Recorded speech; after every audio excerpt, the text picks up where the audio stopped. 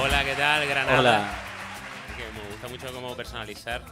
Plan, hola, ¿qué tal, Granada? Como que Granada decir hola. Granada es una ciudad que me trae bellos recuerdos. Yo casi me quedo a vivir en Granada y gracias a que no me quedé, pude hacer todo lo que he hecho en plan... Si Por no- las cuestas, por las cuestas. Si no, hoy en día os estaría poniendo birras a ustedes, porque era una vida muy, muy loquichis. Aquí me hice las rastas, que luego me acompañaron gran parte de mi vida, entonces... Además fue muy guay eso, porque me lo hizo una pareja de rastas, en su casa, así, en su típico piso de estudiante, escuchando morodo. Y entonces estaban como haciéndome las rastas, que la primera vez que te las haces, joder, duele, porque te coge la raíz ahí, yo no sabía eso, yo creí que eso era como, solo tengo que no ducharme y...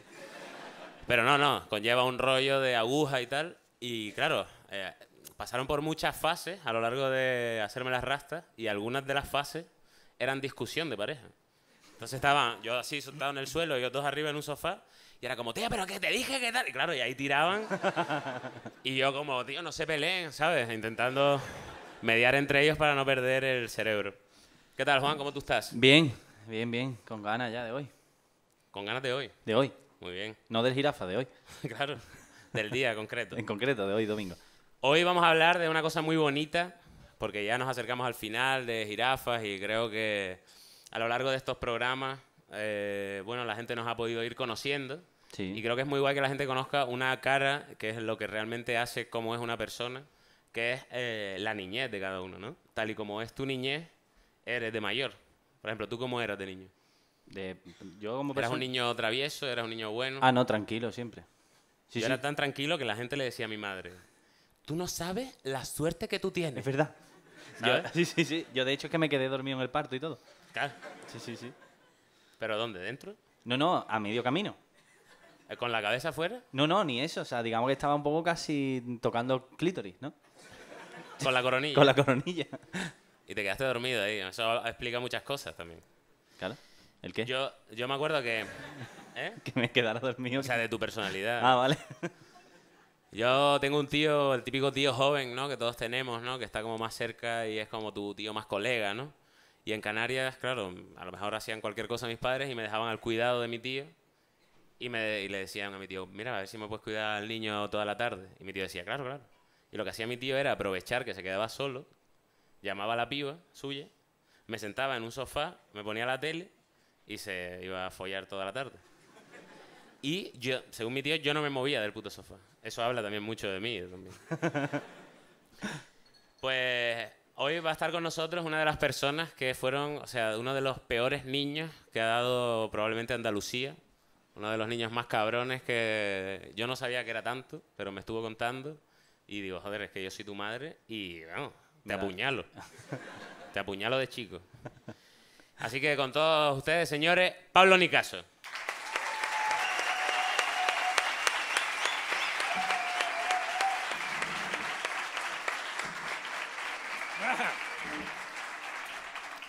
¿Qué pasa, Pablo? Te escucha mi madre y te revienta. ¿Por qué? Yo he sido buenísimo. Tú has sido buenísimo. Con lo que tengo aquí no dice eso, ¿sabes? Para mi madre sí un niño modelo, de verdad. Ojos de tu madre, modelo pero de, de Yo guapo. tengo dos hermanos y mi madre rara la semana que no me dice, me hubiese quedado contigo nada más. Te puedes imaginar la Pues, eso te iba a decir, así serían tus hermanos, ¿no? No, hombre, pero yo soy- Mataron gente, tal. incendiaron barrios. Lo de matar gente no, lo de ya incendiar es otro... Hombre, para que creo que para que la gente se haga una idea de qué tipo de niño eras tú, hay un ejemplo muy guay que es una historia que me contaste, que es esta broma que le hacías a tu madre y a tu abuela. Me gustaría que la contaras, también para que Juan te escuche. Pues de chico a mí me encantaba. eh, normalmente a mi madre, mi madre ha sido súper miedosa siempre y mi abuela pues igual. Su madre eso es hereditario. Intentó inculcármelo, pero yo el miedo es algo que, que nunca le he dado la importancia que ella le daba. Y a mí me encantaba siempre cuando veía a lo mejor que ella estaba en otra habitación o algo así, pegar un golpe fuerte y ponerme en alguna postura coyuntada.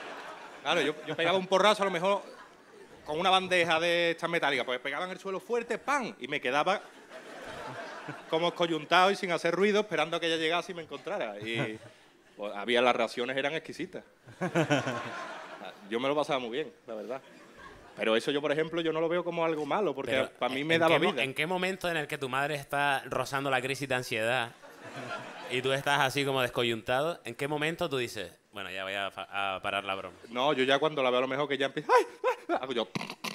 Y ya dice... ¡Hijo de... ¡Levántate de ahí ahora mismo! Pero...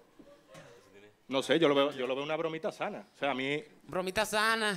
a mí eso me lo hacen hoy en día y, Eso te lo hace a ti, tu, tu hijo hoy en día, Little Pablo, y, y diría que qué le maravilla. pisas la cabeza. O sea, No, cuando no, te das no. cuenta de que tal, Al revés, le diría que poco creíble. Curra, arte sangre, algo. que- ponte queso aquí. ¿Tú no hiciste de trastada, Juan, de tu niñez? Yo es que lo que te digo, que yo era muy mierda. De Ya. hecho, yo ahí cogí mi gran trauma, que son las lagartijas, porque yo tenía un primo que era como Pablo, y además se llamaba Pablo. O sea, era- Los Pablos son unos cabrones. No, no, y yo, te lo juro, era muy cabrón mi primo conmigo, y yo creo que de eso cogí el trauma, y mi primo cogía las lagartijas y me las tiraba. Y lo que te digo, me decía, te va a quedar calvo, tal, no sé qué. Y me las tiraba y después cogía los panales de avispa y como él, yo, o sea, de chico estaba O gordísimo. sea, ¿tu primo cogía los panales de avispa? No, no, te cuento. Yo estaba gordísimo y, y vamos, o sea, y el nota me ponía debajo del panal de avispa, tiraba a la piedra, daban el paná y el paná caía. Y el nota salía a correr. Pero claro, yo intentaba, pero como mucho rodaba, ¿sabes? Y ni eso, porque con la cabeza era como... tutuf, tutuf. Entonces me picaban todas las avispas. O sea, yo era como el que sufría. Pero la salamanquesa, yo, creo que te lo conté también en, lo, en lo otro. Yo es que las salamanquesas son un bicho también que siempre me han parecido simpáticos y yo me los ponía de pendiente. Yo le daba así golpecito en la boca y eso abre, pan, y pinza. Claro, esto, esto es gracioso delante de tus amigos cuando la salamanquesa es chiquitilla. Pero un día me vine arriba, lo típico, niñas en el parque, no sé qué. ahí. Claro, y vi la típica salamanquesa esta negra de olivo, que además fue a raíz de eso porque hablábamos que en Fogueo, en tu olivo, había salamanquesa. El caso, cogí la, la bicha, me la puse y me pegó un leñazo la cabrona, que claro, me dice un colega, y yo, tiene sangre en la oreja. Y digo, ¿cómo? Y cuando hice así, pegué el jalón para abajo, no se soltaba. Mira, ya empezaron los sudores, yo dándole de las boqueras a la cabrona y no se soltaba. Y ya desde entonces dije, me encanta verlas en la pared, pero... Eso es buenísimo relación- para los mosquitos. tal. Claro. Me encanta esa frase, tío. No, pero ¿cómo te das miedo si matas mosquitos? ¿Y eso qué, qué hacemos? Pero es, es que en realidad, o sea, si a mí me dicen eso, yo digo, ¿vale? Porque a mí me parecen los mosquitos, eso sí, unos hijos de puta. Claro, ¿Sabes lo sí, te sí, digo? sí. O sea, si yo pudiera ser y que murieran todos los mosquitos del planeta, lo haría, en plan Thanos. Y las ¿sabes? y las moscas, y las moscas. Las moscas me dan más pena porque Pues a mí no. se pueden... Pero yo leí una vez que duraban un día nada más. Sí. Y digo, pues, un día que dure, hija de puta, Y no me va a quedar. y te lleva to- toda la tarde aquí. Es que, es que por eso las tías dicen, ¿cómo? ¿Que tengo un día nada más? Te reviento, ¿sabes? De todas Pero- maneras, para ellas pasa el tiempo como en cámara súper lenta. Claro, para ellas es un año, pero para ti es un día, ¿entiendes? Pero un mosquito por lo menos tiene su aliciente. Te pica y te deja ahí la huella. Pero una puta mosca que lo que hace es posarse por todos lados. ¿Verdad, eh? O Y el mosquito se la juega, porque el mosquito necesita un rato. Un- Claro. ¿sabes? A, mí- me encanta, a mí las cosas guay que más me gustan del verano de Andalucía, desde que vivo aquí, que está muy guay el verano. Me gusta, ¿no? Deshidratarme cada, cada agosto. Me encanta. No, no tener playa en Me Sevilla. encanta decir, bueno, voy a poner, voy a, me voy a acostar, o sea, ahí todo sudado, claro, que a lo mejor eso pasa en invierno y no te das cuenta porque te duermes. Pero en verano, como el calor no te deja, y dices tú, joder, a ver si me duermo. Y justo cuando estás cogiendo el sueño se oye. Y haces tú, no.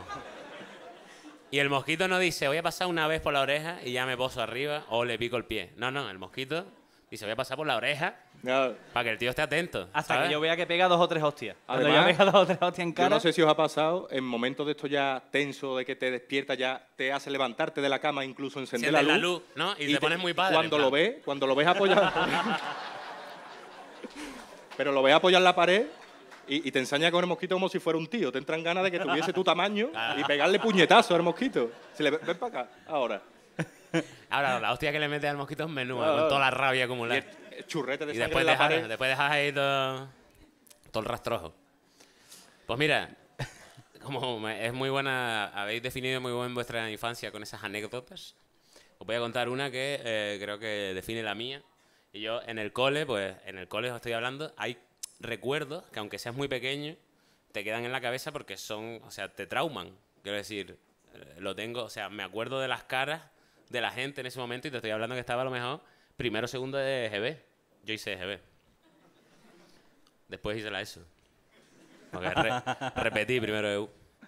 Y, y me acuerdo que yo no, o sea, no jugaba al fútbol, ¿no? Entonces yo no era un chico, o sea, yo era un tío muy solitario de niño, en realidad, en general. No me gustaba la gente. Ahora tampoco, pero me he aprendido a adaptar un poco a conocerlo. Y me acuerdo que estaba yo así caminando tranquilo y me dice un pibe que me caía fatal, además, que hoy es amigo mío. Me dice, ¿tienes un chicle ahí? Y hago así. Me miro, en plan, ¿será broma? Me miro y en la rodilla tengo el típico chicle de menta. No me acuerdo, de menta verde ahí fluorescente. Como que me puse de rodillas encima del chicle. Y claro, mi única, mi única defensa ahí en el cole era como hacerme el guay. Y dije, ya lo sé. Como diciendo, ya lo sé, me lo pegué yo, yo quise. Yo quise esa rodillera de verde. Y entonces, imagínate cómo fue eh, mi cabeza emparanoiándose paulatinamente hasta el punto que ese día yo acabé cojeando, como si ese chicle fuese un disparo. Te lo juro, ¿eh? Yo iba cojeando. Entonces yo iba ya, me iba para afuera del cole así cojeando. Yo iba a casa en el autobús de- del cole, ¿no? Eh, la guagua del, del colegio, con la profesora de la guagua y tal. Entonces yo iba así, tal, como cojeando, en plan, bueno, ya solo me queda llegar a casa, tal. Y al fondo de, la, de ahí de la salida del colegio veo a mi madre, que nunca venía a por mí, pero ese día le cuadró, y vino y dice, ¡Mamá! Y empecé a correr para mi madre, en plan, mi madre asustada, la profesora diciendo, ¿pero qué cojones está? Y llego a mi madre y mi madre, ¿qué, qué te pasa? Y yo, el chicle, el chicle. Y mi madre, y la profesora, ¿qué le pasó? Dice, no sé, el chicle. Y yo, el chicle. Y yo dice mi madre, bueno, no pasa nada, te rayes, está. Y ya, como que me quedo así en la mierda esa de... Y me monto en el coche, pero todavía con la angustia, ¿no? Y dijo, y me acuerdo que digo, mamá, ¿puedo llorar? Y dice, dice mi madre, sí. Y hago, y dice mi madre, pero no digas el chicle. Y hago, y no pude llorar más, porque ni siquiera pude llorar como yo quería llorar. Era repeti- repitiendo el chicle, el chicle, todas las veces que podía. Y ¿no? por eso ahora lloras con la película esta de... Claro, por eso tengo una sensibilidad extrema. Esas lágrimas que no salieron ese día Las tienes son ahí. las que tengo ahí que lloro con los anuncios de cualquier cosa. Eso, eso es un tipo de niño y otro tipo de niño es el que coge las cáscaras de las gambas en Navidad y se las mete a sus familiares en los bolsillos de las chaquetas que tienen colgadas para que las guarden un año entero hasta las Navidades siguientes y huelan a cadáver, ¿no, Pablo? ¿Se la has hecho tú? Qué hija Sí. de puta, mamona. A mí me encantaba una celebración, ya fuese un bautizo, una comunión, una de esto de Nochebuena, porque yo, aunque, aunque por aquellos entonces era chico, yo sabía que la chaqueta que se ponían mis tíos, mis primos mayores, no sé cuánto, eso se lo ponían ese día y eso iba al armario hasta el año que viene. Entonces, claro, cuando yo los veía colgar la silla, yo me entretenía a coger los platitos de gamba y las cabecitas pues las iba metiendo en los bolsillos de dentro, tal y cual.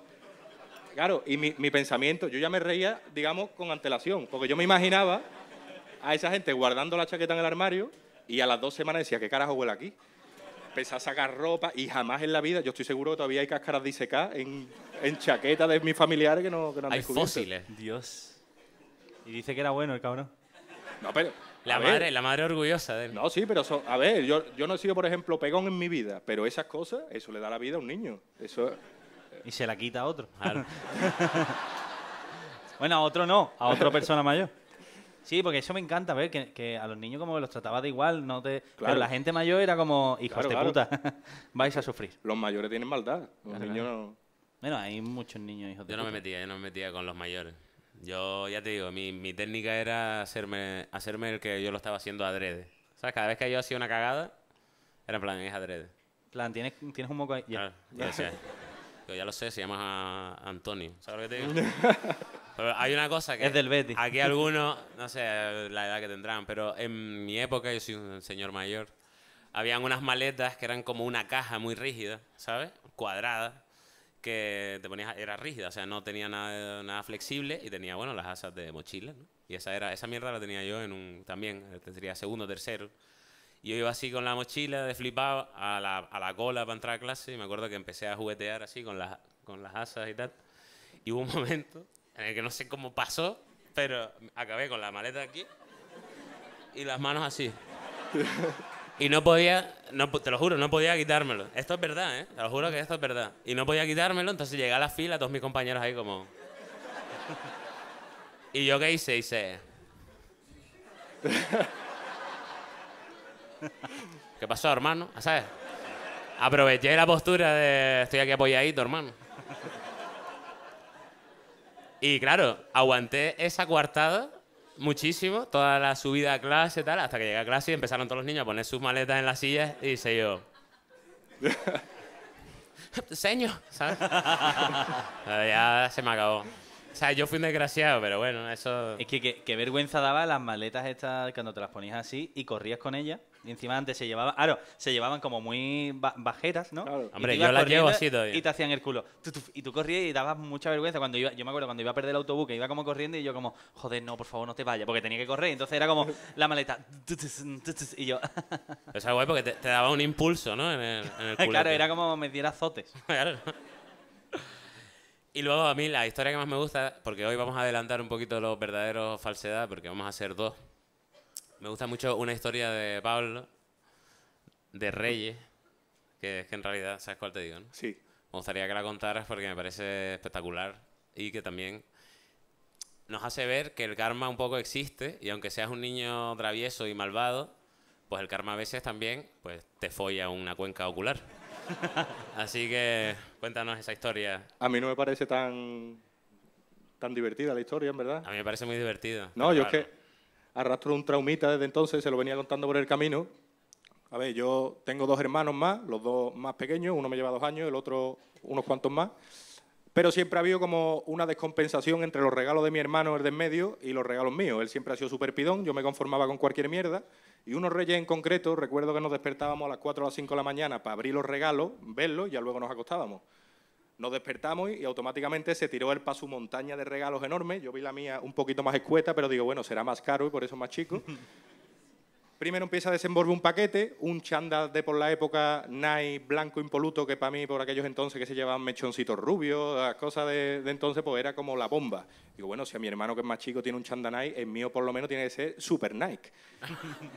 Abrí mi paquete y venían tres camisetas interiores básicas de manga larga de Carrefour, Pero blanca. que digo, sí, además blanca. Digo, Pero blanca, para que te la pudiera poner con el chándal. tú Claro, digo, esto da, da bastante penita, pero bueno, yo qué sé, me lo voy a poner mi madre, yo qué sé. Será que lo bueno viene después. Me coloco la, la camiseta interior y cuando tiro las mangas se me encogían hasta la mitad del brazo. Digo, hostia, vaya puntería. Levantaba los brazos y parecía una Spy con todo el ombligo al aire. Ya empezaba mi hermano sí. con su... Y yo, vamos a ver qué, qué pasa. Abrió un siguiente paquete. No sé si recordáis hace un montón de años una Salomon que había con cremallera. Claro, yo la vi, para mí eso fue otro pelotazo. Digo, qué maravilla, una Salomón de cremallera, pues para mí serán unos botines Nike esta vez. No, me tocaron unas botitas de la escuela taller, como de, de albañilería chunga. Me dieron muchísima fatiga, ya empezó la lagrimilla a caer, mi hermano se reía fuerte. Y el sumum de todo fue cuando a él le regalaron unos patines, unos roces de estos de patinaje agresivo, costaban una pasta, me flipaban a mí, yo quería otros iguales. Pero el último paquete mío no tenía pinta de patines, se veía más aplastadito, muy chico de mierda, y cuando lo abro me encuentro unos pantalones de campana verde, de campana, de pana además, De y sin fina. bolsillos en el culo. Cuando yo miro la etiqueta eran pantalones de tía, digo, mi madre se ha lucido de bellón. Claro, ya automáticamente me arruinó completamente el día, me acosté a dormir pensando, o sea, cuando luego me desperté pensé que todo había sido un mal sueño y que ahí tenía yo mis regalos, y cuando me desperté y vi... Ahí estaba el pantalón de Tremendo pana diciendo, despropósito. hola, ¿qué pasó? Todavía tiene que estar por ahí. Hola, Melcí. Lo peor de todo es que recuerdo también que día, o sea, no- a, la- a lo mejor a la semana me- decirme mi madre, oye, ¿no te has puesto los pantalones nuevos? Y tú, mira, demasiado que no te quemes. Demasiado que tu casa sigue intacta. no, me, no me gustaron mucho esos reyes, la verdad. Pues Pues no sé mira, por te, qué, los ¿eh? te los mereciste, Pablo. No, sí, la verdad que tampoco puedo lo yo pedir merecí. mucho más. Pobrecito, ¿eh? Hay una cosa de la infancia que es muy bonita también. Y, antes, y ya es lo último antes de pasar al verdadero falsedad. Que voy, voy a empezar contigo, que eres más joven y has tenido esto más fácil que nosotros. Porque Pablo parece joven, pero no es tan joven. De hecho, Tengo 60. es muy mayor. Eh, ¿Tú recuerdas? Pablo dice que no, cosa que me parece mentira, pero bueno. ¿Tú recuerdas como la primera, el, tu primer contacto con el porno? Buah. O sea, ¿qué fue Sí. lo que viste? Sí, sí, sí, sí. ¿Puedes, contar? pero porno tal o estaríamos hablando de primera paja? No, no. No te estoy hablando de primera paja. Te estoy hablando, a lo mejor tú no sabías que era una paja. ¿Sabes Ah, lo que te vale. digo? Vale, sí. Eh, eh, pero era en papel o... Bueno, está bien, está vale, bien. vale. Tío, pues la cosa fue que en mi casa un día, en mi casa de la playa, nosotros estamos, no es mía, es de mi abuela, lo típico que dice mi casa, la- mi playa. Pues allí veraneamos toda mi familia, somos eh, 25 personas en un piso de tres habitaciones, ¿no? o sea, que yo es para flipar. Y tío, un día estoy en el baño y de repente estaba el Marca, eh, un periódico, estaba un periódico y de repente, Deportivo. periódico Que deportivo, tira para el Madrid un poquito. y de repente veo como ese periódico tiene algo detrás, una revista. Y digo yo, ¿qué será? ¿Será el Dibus? Claro. ¿Será un tebeo? Mi sorpresa fue cuando yo hago así con la revistita y veo ahí a Rachel. Era el interview. ¿A quién? A Rachel. ¿Esa quién es? ¿Qué Rachel? Me acuerdo perfectamente porque fue mi primera paja. ¿Rachel Green? No, no, Rachel, no, no me pidas más tampoco. Entonces salía. No, no, Ah, que pero era una- era una una piba que se llamaba Raquel. Sí, no, no, Rachel. Vale, ponía. Rachel es más porno que Raquel, ¿eh? Claro. Y de repente lo veo y digo, tío, ¿y, y esto qué? O sea, ¿qué será? Sabía que eran dos tetas. Pero, ¿Tú pero digo, digo, voy a ver qué hay. Bueno, y la tía una postura, unas cosas, y digo yo, bueno, bueno, bueno, bueno. Se le veía el, el papo. El tomate, ¿no? Entonces, claro, y claro, yo no sé por qué, pero yo creo que eso es el instinto. Cogí yo lo que viene siendo mi churrilla, ¿no? En, en ese momento de lo que es paja con, con esto. Ah, pues todavía no tienes. Lo que es picha- la, pin- claro, lo que es la pincita, ¿no? Claro. Y yo era como, pues esto se tiene que juguetear. Tú decías, esto va con esto. sí. Claro.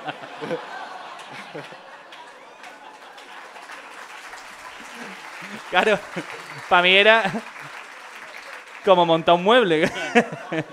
plan, esto es un tornillo largo. Bueno, largo. ¿Un tornillo? Ahí está, el tornillo.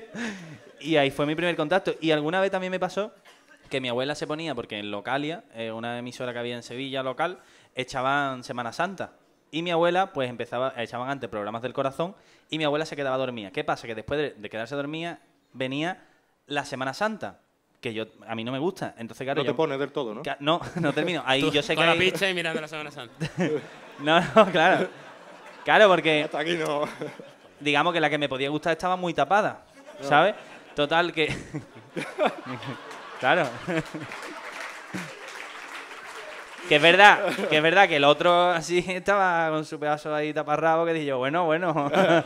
pero, pero estaba yo descubriendo mi sexualidad. Entonces de repente terminaba la Semana Santa y era un contraste muy grande, porque terminaba la Semana Santa y había un anuncio de una mujer eh, en bikini, en plan, hola, ¿quieres pasar un buen rato? Y tú, sa- sí. No voy a querer. y salió un número de teléfono y llamé desde el móvil de mi abuela, ¿sabes? Chiquita Y ruina. ¿eh? diciendo, mira, me apetece un Scategory. La putada fue que, claro, yo me esperaba que todos los teléfonos pues costaran lo mismo. Y yo estaba acostumbrado a que las llamadas costaran poco, ¿no?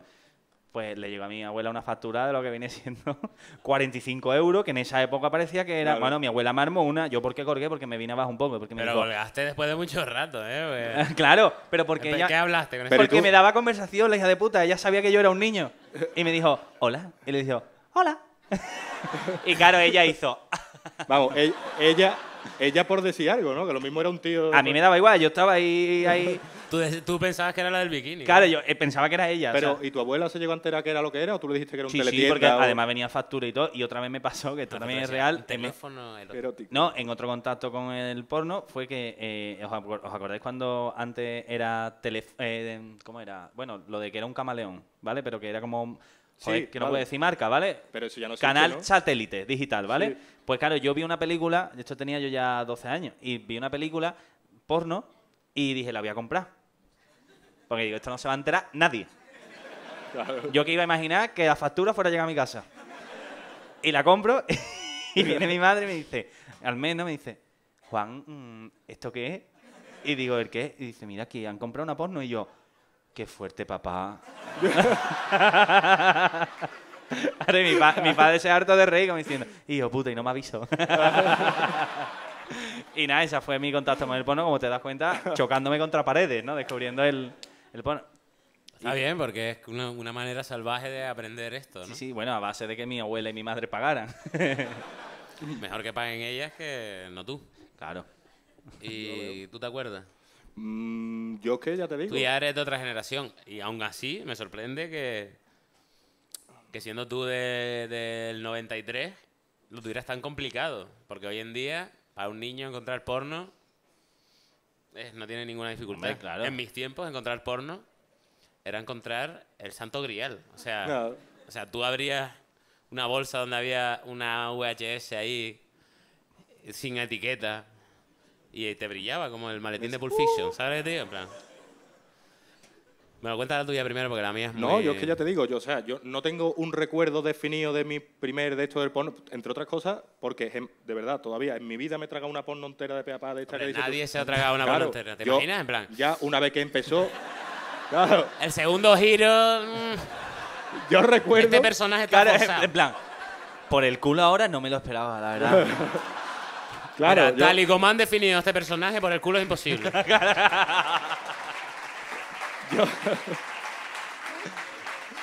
Plan, ¿cómo un fontanero va a saber tantas posturas? ¿Cómo? ¿No? Yo recuerdo cosas como escalonadas. Es decir, primero recuerdo, típico, un nota que lleva al colegio en tercero primaria una hoja de una revista porno doblada donde había dos tías comiéndose las cosas y yo decía, oh, qué maravilla. Pero ahora yo decía, qué maravilla, no, oh, porno. Entonces nunca lo asocié con eso. Yo decía, hostia, me gusta, esto es bonito para mí. Pero, claro, Me ¿Qué- apetece. ¿Qué pasa? Yo era, yo era en, ese, en ese sentido, yo era igual de, de primo que tú, por ejemplo, porque el recorte luego hacía por cogerlo y llevármelo. Luego mi madre lo encontraba y decía, Pablo, ¿esto qué es? Claro, hubo un momento ya que el recorte no se separa nada. La hoja doblada. Claro. Eh, Pablo, ¿esto qué es? Pablo. ¿Esto, ¿Esto qué va a ser? Claro. Ya luego, aventura. O sea, una vez que ya llegó Internet, una vez que ya llega Internet a la comarca, ya hay un innumerable, yo qué sé, de- bueno, yo descubrí petardas con 14 años por ahí. Hostia, no me acordaba. ¿no? No me Es que se ha acordaba de se ha hablado poco, Pues, ¿eh? A mí me dura todavía. Hostia, petarda. ¿Sí- ¿Existirá todavía? No, no, sí, sí. ¿Sí? Existe. Te voy a entrar. Y, todavía está en HTML, pero existe. Y Rubias 69 también. Rubias 69. Eso ya no me... Pero era de, después te sorprendía porque había de todo tipo no, de no colores. era- no eran solo rubias, ¿no? Claro, que era ¿Y ¿Cómo lo... te sentías estafado? En plan, bueno, ¿esto qué es? Una castaña aquí que pinta. Todo, todo nazi de las páginas web, en plan, pero esto que esto no es ario. Pero yo es que, yo es que para eso he sido poco, poco mijita, digamos. O sea, yo, por ejemplo, la- las azafatas del Gran Prix me valían. Yo decía, "Fua". bueno, bueno. Ay, veía las azafatas ese y digo, ¿para qué más? yo- Digo, más, voy a- Yo otra vez era, yo era muy catálogo de Benca también. Pero es verdad que me venía acordando hoy con Pablo que había, cuando esto, cuando lo- habían estos canales antes del TDT, ¿no? Que eran los, ya no el canal 47, sino sus derivados, Ajá. que habían como anuncios, ¿no? Abajo había como un chat de gente que iba mandando SMS, en plan, estoy solo. eh, solo eran tíos, ¿no? Eh, estoy solo, estoy solo. en plan, hola, busco a chicas, tal, y otro, yo también. tal. Se iban haciendo amigos, en plan, ¿qué pasa? ¿De dónde eres? ¿Una paja mutua o qué? Fíjate tú el día, el día que le llegue a la abuela de esa gente la factura. Claro. Después arriba había como un anuncio, en plan, llama al tal no sé qué tal. Y en un recuadro mínimo, en la parte superior, Estaba la porno. había una peli porno que había que, claro, acercarte mucho porque era como, era así. Entonces eso, eso valía perfectamente. Pero no eso solo, es lo que hemos estado hablando antes. Valía el simple hecho de decir, voy a poner a porno. El coger mando, ya decía uno, ya está. Claro. Ya, Así está es, yo ya. Claro. Ahora, Pues mi- la, mi la prim- oreja ultra fina también, el oído educado, cualquier ruido así, Y, cruzabas, Pero- y cruzabas piernas. Y te digo una cosa, y de chico qué putada era cuando te, estaba, te estabas tú tocando y claro, digamos que si tenías papel, ¿no? Mando, ordenador y claro, y tenías que estar lo que tú dices, pendiente. Qué Claro. putada cuando... Y la polla fuera. No sabe qué hacer, a claro. que- entonces de repente entraba tu madre o lo escuchabas que venía, tú no sabías a dónde acudir, ¿qué quitabas? La porno, la polla, no sé, ¿no? Es como... Te ponía rollo de papel higiénico en la, y te guardas todo. Pero me, me gusta mucho que ya... me gusta mucho lo que has dicho porque te imagino como que ya tú te, tú te estabas masturbando con el papel en la mano, Claro. incluso al principio de la paja, en plan... No, pero decía, tienes el papel aquí y entra tu madre en tu habitación, ¿tú qué le vas a decir? "Uf, tengo un Como muy, pre- resfriado. muy precavido. Claro, hago... El chicle. Mi primera, mi primera... el chicle. Pues ya me he escapado por ahí. Hostia, arriba hay gente también. Sí, sí, sí. Eh, Eso dicen los Mi creyentes. primera peli porno, que fue porque hubo una, una época en la que mi vie- o sea, todo mi edificio de mi barrio pirateó el Canal Plus. Y entonces, pues claro, yo sabía que pasaba el viernes por la noche, ¿no? Pero sabía que tenía que llegar una hora a la que yo ya estaba acostado. Entonces hice un plan basándome en mi ya, mm, ¿sabes? Conocimiento cinematográfico. Y le dije a mi madre, ay mamá, que echan Forrest Gump, me gustaría grabarla, tal. Y mi madre dijo, claro, grábala. Y yo, loco, que todavía no tenía el cerebro formado al 100%, cogí una cinta de 190, la metí a grabar Forrest Gump, porque sabía que después de Forrest Gump venía lo que viniera. Venía el Me- Gump. Me daba igual. Y esa fue la primera peli que yo tuve en plan en mi poder propia, ¿no? En plan, mi primera peli porno. Que deberíamos hacer un libro de eso, ¿no? Mi primera Mi peli primera peli porno. Hoy vengo Pero a hablaros la, de... la que me tocó fue una peli en latino. Era en latino. Pero era americana la peli. Pasa que estaba doblada en latino. Y era de. eh, como una empresa de eh, consoladores anales para tías, ¿no? Entonces iba de que un tío iba por las casas en plan: Hola, vengo a enseñarle el, el nuevo Vengo a catálogo- hablarte de tu ano. el nuevo catálogo. Claro, y el tío llegaba, es- esa, esa fantasía de las pelis porno de que llega el pisero y dice, abre una tía, ¿no? Buenísima y dice, wow, vaya casa, la habitación debe ser enorme, ¿sabes? Y todo pasa, pues igual, ¿no? Era una historia de que el tío llegaba y decía, hola, vengo a enseñarle estos consoladores. Y decía la chica, no lo entiendo, ¿me lo puede enseñar? Y ya en mi casa como siete pibes del barrio, con nosotros con barreras de cojines para no vernos. Y diciendo, bueno chicos, voy, ¿qué escena queréis hoy? ¿La de la jefa, la del tío que enseña el rollo tal? Y íbamos eligiendo. Eso era, a mí lo que me gusta de eso era el valor que eso tenía y que hoy no tiene, ¿no? Porque un niño hoy hace... Y ya tiene todo un catálogo de porno, o Claro. sea... No, no, una- ni eso en el móvil. Claro. Hostia, Ya es que ni el móvil, ya. tiki tiki, ya taca taca. O sea, y te digo una cosa, y nos ha pasado alguna vez, ya tú no, con tu mente ya limpia, ya no eres una persona como cuando eres más chico, y te pone, ¿os acordáis la época del emule? ¿De? Del el emule, Hostia, que te ponía a me- bajarte a me películas, ¿no? Y a lo mejor te bajabas. Sí, sí. Yo a mí me pasó sé. con Los Simpsons. Me descargué Los Simpsons la película y era una tía follándose un perro. Era, eh, te lo juro. Y lo peor es que lo puse, lo puse en el salón pensando, "Eh, vamos a ver Los Simpsons. Con mi madre, con mi hermano, no sé cuánto. Y cuando se ve la tía ahí y el perro pegando el arañazo a la espalda, digo, hostia, qué desastre. Es que, se- o Guerra Mundial Z. Guerra Mundial. Z la descargué yo y dije yo, Era muy arriesgado. eso. Hostia, pues, y era una orgía. claro. ¿Qué interés, ¿Qué interés había por parte de la gente que subía eso en engañar a la gente para que viera porno, no? Sí, sí, sí. Eso era un plan Plan del como gobierno. paja gratuita, ahí la tienes. Un plan del gobierno. De hecho, claro, cuando te pasaba eso, que tú te bajabas en plan, yo qué sé, de cualquier peli, y veías que era una porno, sea, delante de, ¿no? de tus padres, joder. Carpeta, tal. Carpeta oculta de carpeta oculta Claro. de carpeta oculta. No, y es que te digo una cosa. Anda que no, carpeta oculta. eh. No habían carpeta, ¿eh? Hacía rrr, se abría todo eso. Tenías el archivo esta de la de como Dios. que Ah, Y yo, pues, yo no me acuerdo, por ejemplo, de la primera porno que vi, pero sí que recuerdo, y además mi primo, si ve el vídeo este, se va a hartar de reír a la vez que me maldice porque todavía se acuerda.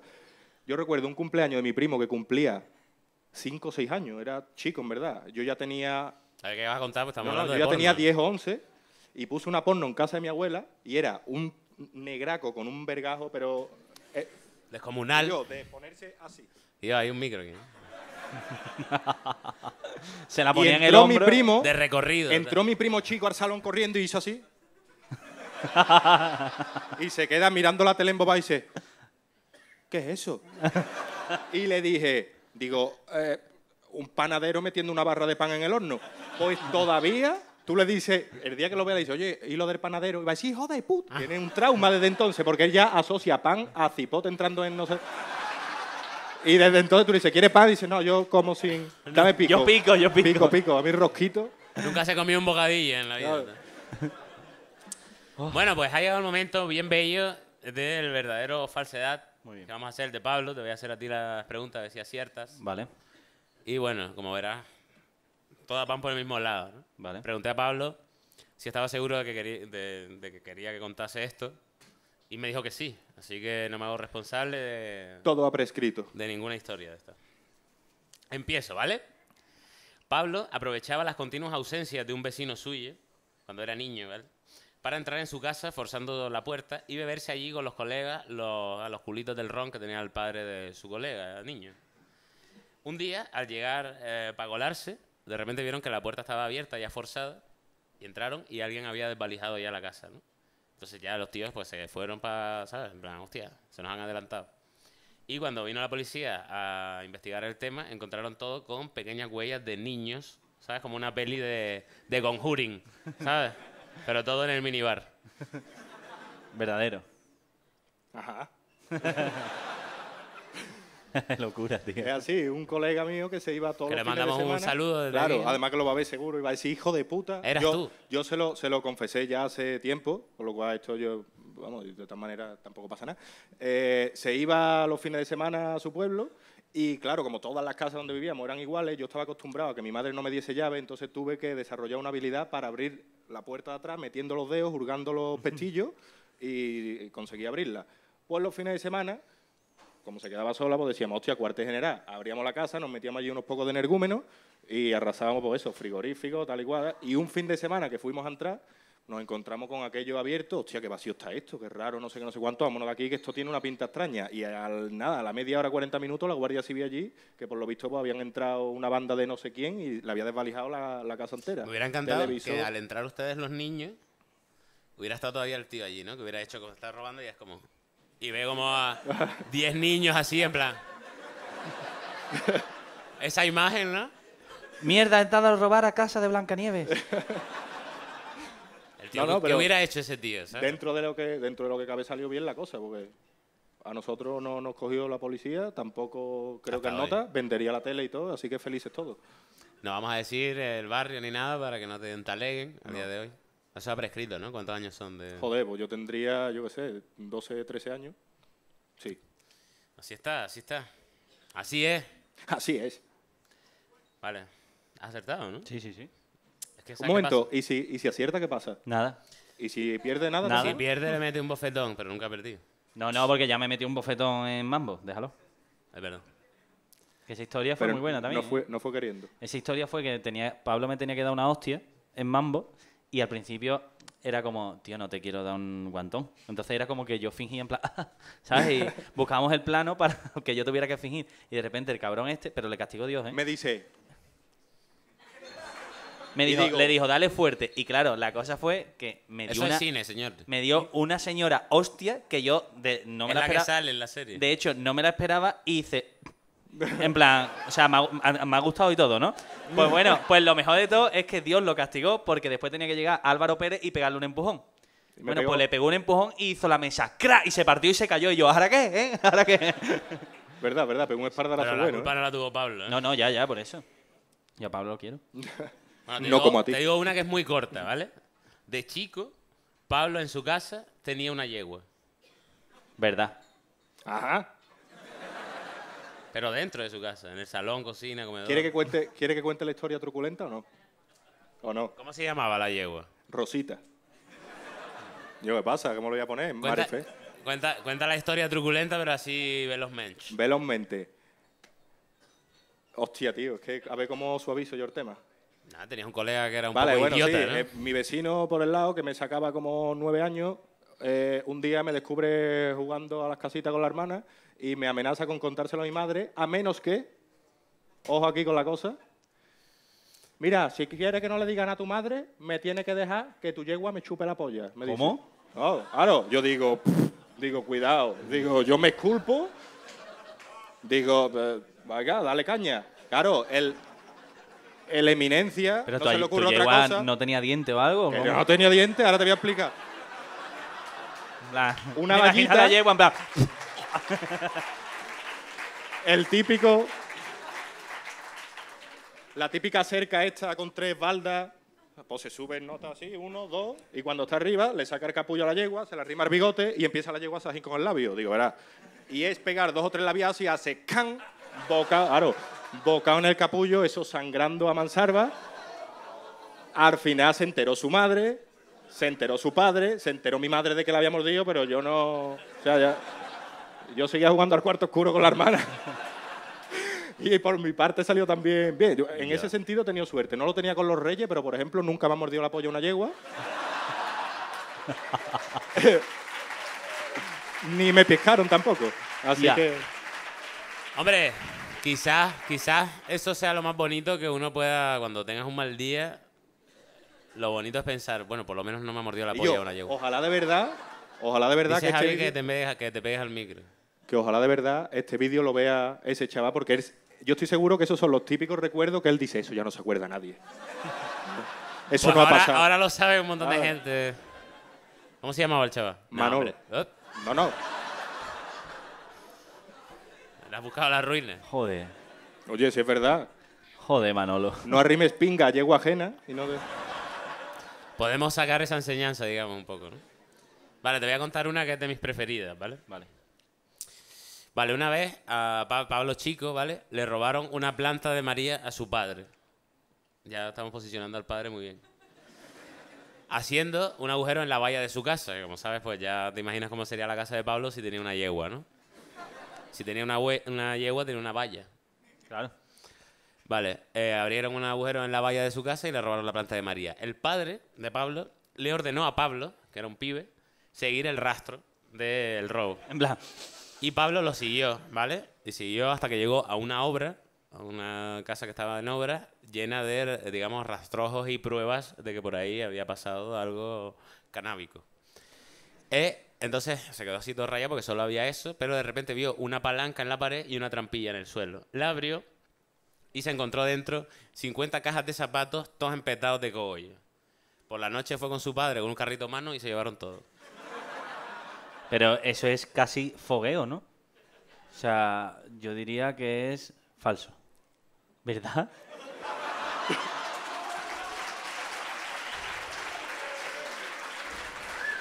Effective Wonder. Silb- silbidos y todo, ¿eh? En Sí, plan, sí, sí, sí. joder. Fue así, fue tal cual. Mi padre, El que le roba a un ladrón, 100 años de perdón. Mi O padre, de- desde que yo soy chico, pues siempre le ha gustado la agricultura al hombre. Una cosa así que no, le hace daño a nadie. Yo te lo juro, yo de chico le preguntaba, digo, pa, digo, ¿esto qué, ¿esto qué coño es tan grande? Porque a mí me sonaba la hoja, yo lo veía, que lo relacionaba con lo que veía por la tele, pero claro, no podía pensar que mi padre tuviese droga, que para mí entonces era como, oh. Yo le decía, ¿esto qué es? Decían, ah, esto es una planta de medicina de tu tío. Me decía entonces, pero claro, yo me, No es mentira. yo crecí acostumbrado a ver dos o tres plantitas ahí y recuerdo una en concreto que fue esa de ese año que creció enorme, súper bonita. Y una tarde voy, veo que han hecho un agujero en la valla y efectivamente eso lo habían robado y me dice, sal con el perro, sigue el rastrojo de hierba, porque como todo, el campo, todo lo de detrás era campo, era terrones, dice, seguramente si la han llevado arrastrando de una moto, eso ha ido soltando rastrojitos. Mira a ver hasta dónde te llega. Digo, tío, este está colgado de la cabeza, me voy a pegar yo ahora un pateo aquí para coger la puta planta que a mí, ya verás, a mí me daba La igual. medicina del Tito, tal. Claro, pero lo hice. O sea, Tu, cogí, tu tío está muy malo. cogí Tu al tío perro, lo necesita, Pablo. cogí al- Vete.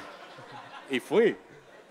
Me puse a perseguir el rastro, que claro, como, como es de polvillo de este rojo de los caminos, pues se veía perfectamente rueda de moto y como arrastrar el, el plantorrón. Llegaba a una obra y allí, pues eso, como de haberla estado pelando, un montón de restitos por el suelo, tal y cual, pero digo, aquí no hay nada. Y cuando ya me iba ahí, pues vi una palanca enorme de hierro eh, apoyada en una esquina, que justo, es que también la gente es súper inteligente, hijo puta, cambia la palanca de habitación o algo, porque yo qué sé, a mí es lo que me dio abrí la palanca y había un montonazo de cajas. Entonces eso, por la noche pues me llegué con mi padre con un carrillo a mano, e hicimos el agosto. Al- a los dos o tres meses, contando esto, claro, como anécdota de niño inocente así en el parque, me dice uno, hijo de puta, tú me la quitaste, ¿no? y digo yo, hijo de puta, pues tú me la quitaste a mí primero. Cabrón. Ahora, te aseguro que todavía tiene que quedar resto de... Porque nos llevamos una... no sé. De hecho, tu padre, no sabes por qué, tiene una mansión. No. Ojalá. Un tigre así. Yo me imagino tigre a, a Pablo todo feliz en plan, toma para el Tito.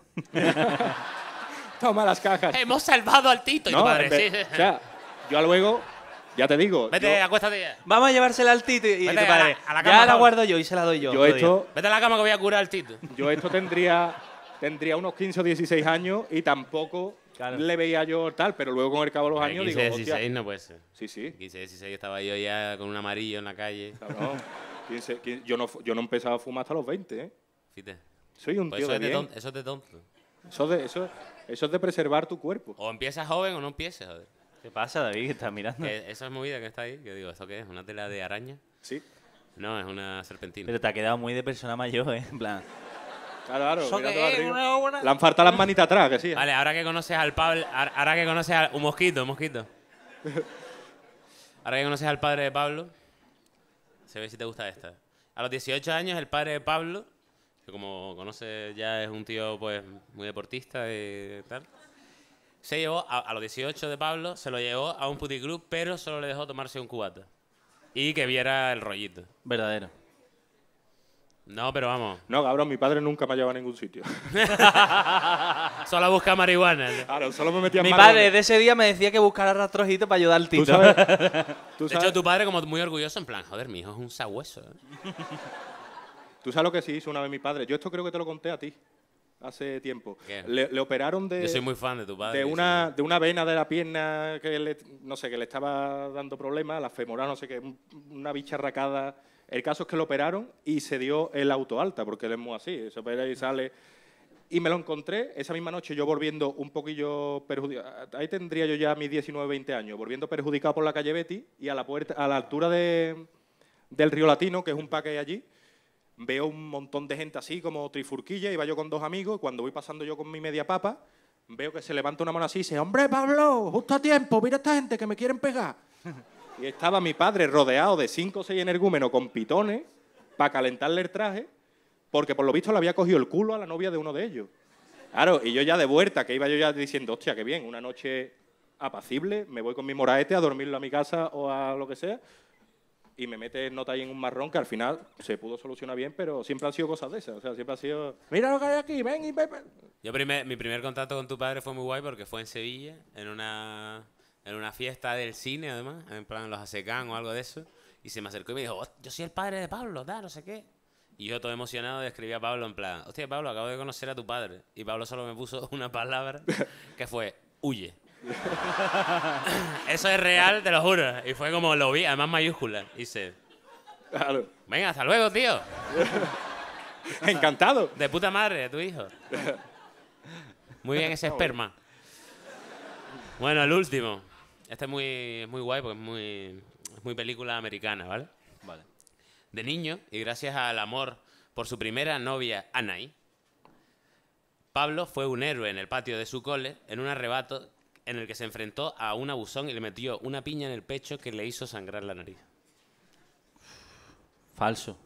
No, eso sí es verdad. Pero. Pues muy merecido. Es una verdad media. Verás. No, no, es verdad, lo que No, no, he no, claro. al final de la historia. Yo estaba con la niña esta, que además también te lo dije, mi padre me daba caña por arrimarme a esa niña, me decía, no estás viendo lo cabezona que es, que parece un tío, me decía. Y yo, pa, que me deje que a mí me gusta. De, Vete". de hecho, era Juan. Me decía, vete de Esa ahí. cabeza y era Juan, en plan, ¿qué pasa? Pues estaba yo un día en el recreo sentado plácidamente con ella. Yo creo que no me. Fíjate, de esto que no te coge ni la mano, como diciendo, uh, esto ya es por pasarte. Ahí sentadito uno al lado del otro mirando al infinito y pasa un cabronazo por delante y dice, era el Pablo que se emparma con lana y no sé cuánto. Un bicharraco de estos, gordo, cabrón, pegón, además ultra repetidor. Pues yo no sé, el arrebato de furia que me entró en el momento por hacerme el chulito delante de la chavala, que me levanté muy decidido, le pegué un cate en el pecho y le sangró la nariz. Yo no sé si tendría sentido. O, O que hacía mucha si- calor, claro, ¿no? O si ya venía en nota con sangre en la nariz. El caso, yo le di y le sangró la nariz. Y automáticamente que lo vi, yo estaba pensando, estoy amamonado, me va a reventar la puta cabeza. Eh, entonces, en el momento durante el recreo, quedé de héroe, porque ya En vinieron plan, los ¿sabes? Fue el típico se momento en el que hizo un niño de tu colegio. Claro. Empezó otro. Pero la segunda parte, o sea, eso es en el recreo, ¿vale? Yo en el recreo quedo de- con ella de, "Eh, Bien, Pablo. te, te he protegido. Pero en la salida, ahí a campo abierto, que estaban notas esperándome así, tal y como lo vi, pegué un carreronazo gordo y la chavala se quedó. Y tú, el autobús, el autobús. Digo, ahora, dale tú ahora, que yo ya le he dado antes. De hecho, ¿te imaginas que el, Reco- que el tío ese se vengase? Corrí con- como un cabrón. Hombre, claro. Ah, además, hostia, me acabo de acordar, es que semanas antes el nota le partió el brazo a uno, que además era de Canarias, se llamaba Besay, el chaval. ¿Besáis? Besay. Le partió el brazo así. Sí, hombre. Te lo juro, Guillo, yo tenía esa visión, digo, me va a hacer lo mismo a mí. ¿Cómo se llama ese? ¿Cómo se Me ha hecho, me ha El hecho- que, el que partió de Pepe, Pepe, me cago en tu puta madre. rompiendo los brazos a los canarios. yo, y yo, pero sí. A los canarios no, ¿eh? y yo de verdad que. Besai, Besai. De peluco, o sea, pero tú la maldad que tiene que tener para tú hacer. Hombre, hay, hay gente... hay Mirando, yo me lo imagino mirando al patio, en plan, mirad chicos lo que pasa cuando te metes con Bes ahí. Ah, Además, el niño, o sea, al que le. al Seguro que le- vio contacto sangriento ese día. No sé, pero al que le partió el, el brazo medía nada, un- un 90 centímetros a lo mejor. Era ultra chico y el otro un 90 bicharraco. Entonces no era canario, ¿eh? Sí, sí, sí. Sería Era, de padre canario. platanito canario son chiquititos. Es verdad, pero tienen mucho sabor.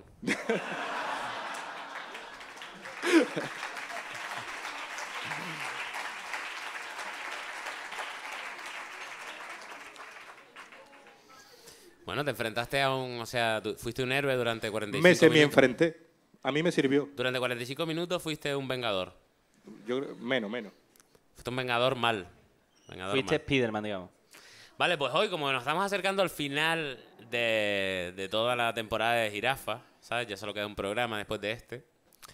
Voy a hacer una cosa que no he hecho nunca, aprovechando que tú también eres colega y que hoy estoy un poco entre dos colaboradores más que con un invitado.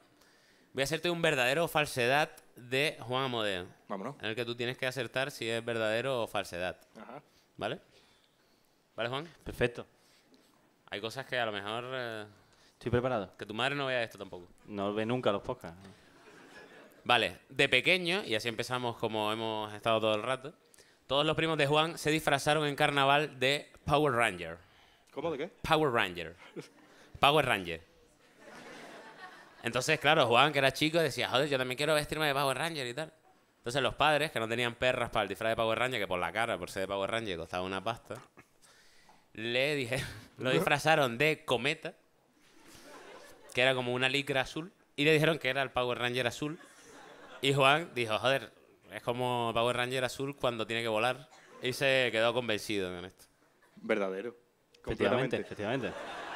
Efectivamente, de hecho tengo foto que se la voy a pasar cuando... dinosaur mm, cometa. Escúchame, cuando vayan, cuando vayan a montar el podcast le voy a pasar la foto a, a esta gente para que la pongan porque eh, mi primo, ellos, mi, mi- la familia de mi eso estaría guay. Pásame fotos la familia de la familia de mi padre, mi primo tenía mucho dinero y mi primo iba con el traje de Power Ranger que te lo juro por Dios que le hacía medir dos metros. Que tenía hasta un dinosaur Sí, o sea, sí, atrás. cl- claro, un dinosaurio. ¿Tú qué eras? ¿El dinosaurio Y- cometa? Y coge, yo no, ¿qué qué? ¿Dinosaurio cometa? A mí No, me- no, no, y a cuando mí me me re- contó esta historia, Juan me dijo, me disfrazó de cometa. Y yo pensando en un cometa espacial. No, no, no. Me pone mi madre y me pone las mallas azul, todo azul, y luego la cometita lleva como un delantal, pero para atrás. De colores, ¿sabes? Entonces era como lo que simulaba el triangulito. Y mi madre lista le digo, pero mamá, yo no voy. Yo no voy para Ranger.